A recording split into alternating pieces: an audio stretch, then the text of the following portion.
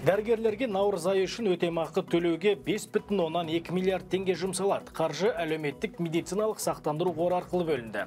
Бүгінде елдегі барлық медициналық мекеме аталмыш қормен тиісті келісімді бекіткен. Қаражат сала мамандарының карталарына 8 сәуірден бастап аударылуда.